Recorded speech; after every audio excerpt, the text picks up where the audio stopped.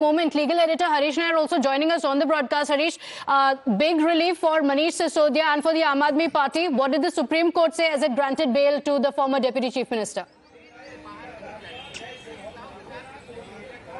Yes, that's right, Pratibha. Big relief coming in for uh, Manish Sisodia. Uh, essentially, the Supreme Court has not gone into merits of the case, but only the fact that Manish Sisodia has already spent uh, one and almost one and a half years in jail, and took into consideration that uh, the trial will not start, will not uh, complete anytime uh, anytime soon, and there are 493 uh, witnesses uh, in, in these cases, and and even during the hearing, had questioned when will the trial see the uh, light at the end of the tunnel. Uh, Supreme Court very clearly said that uh, right to speedy trial, right to life, right to personal liberty are sacrosanct fundamental rights and uh, Supreme Court should go into the, take into consideration the fact that even in the October 30 order, while uh, denying bail to Sisodia, Supreme Court had expressed uh, concern at the prolonged incarceration and Supreme Court very clearly today also in its order said that pre-trial detention, long uh, continued pre-trial detention cannot be countenanced at any cost. This is an issue of fundamental right and personal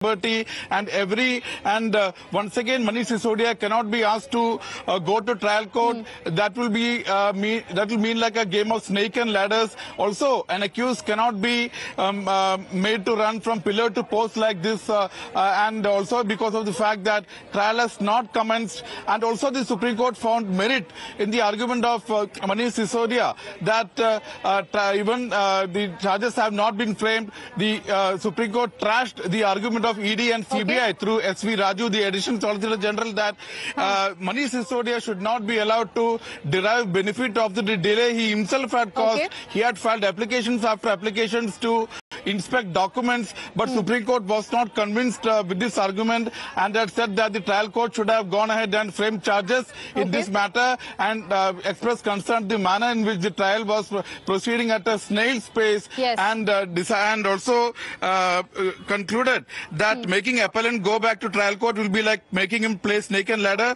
Okay. A person can't be made to run from pillar to post. Accused okay. has a right to speedy trial. Right to liberty is a sacrosanct right and no, so there is right no evidence to, to show trial, that this is something that the Supreme Court, the top court had also said in October as it uh, rejected the bail application of Manish Sisodia. Tejshri is also joining us. Harish, request you to stay on with us. Tejshri, what are the political implications of this? Because Manish Sisodia has not just been granted bail, but he can also attend office and go to the secretariat.